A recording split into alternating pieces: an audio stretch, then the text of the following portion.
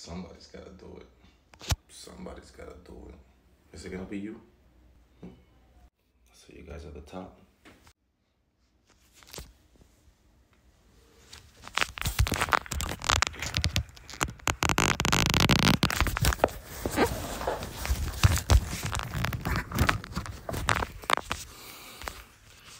Come on. Spider Man, Spider Guys think this shit's easy, yo. I make this shit look easy. I'm bringing this bitch right back downstairs because it's it's not doing it. Guys, this is the 5G miner.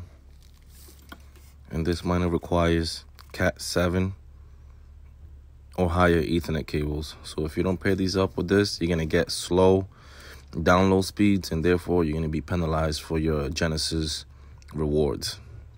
And this is the 5G radio cell. Don't mind my greasy hands. It still works.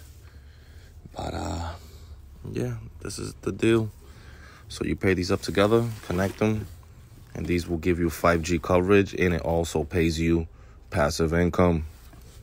Like, come on, man, this is a no-brainer. This can't get no easier than this shit. Like and subscribe, Razzii Grow.